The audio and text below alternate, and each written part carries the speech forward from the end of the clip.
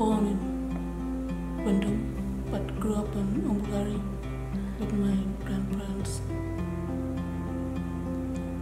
What do you like about living here? Oh, it's a bit quiet before work every afternoon. Look at the views every afternoon. The lily pads all along the wall. Did I like drawing the lily pads? Yes, every time when I go on the water hole, I all the time need to jump in the water and just get it, just make lily pad.